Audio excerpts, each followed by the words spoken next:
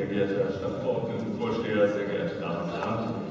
Ich will noch mal betonen, äh, meine Fraktion begrüßt es durchaus, dass in dieser Vorlage Elemente enthalten sind, die tatsächlich angelegt sind, darauf den Straßenraum neu zu verteilen und tatsächlich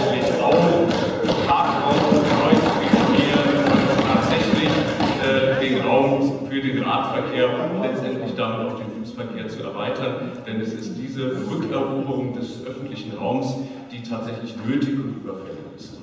Äh, gleichwohl äh, können wir nicht umhin, tatsächlich die Begrenztheit der Mittel hier anzusprechen. Das ist nun mal einfach der Punkt. Und da Herr Gröling meiner Fraktionskollegin Frau Bock äh, eben unterstellt hat, sie könne diese Vorlage nicht lesen oder wir könnten diese Vorlage nicht lesen, äh, gehen wir es doch einfach nochmal durch. 2020 wird es 750.000 Euro zusätzlich geben.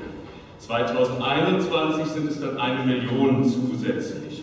2022 1,25 Millionen zusätzlich, 2023 1,5 Millionen zusätzlich und 2024 2 Millionen Euro zusätzlich.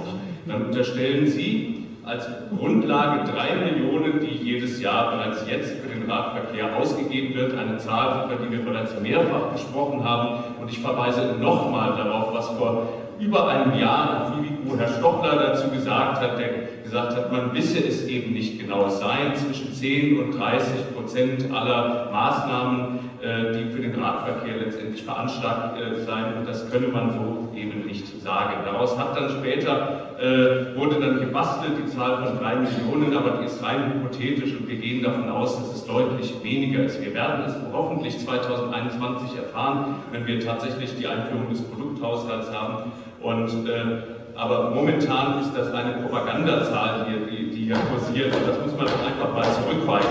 Und darüber hinaus, wenn Sie davon ausgehen, dass, und ich immer wie gesagt, angestrebt wird, das ist die Formulierung.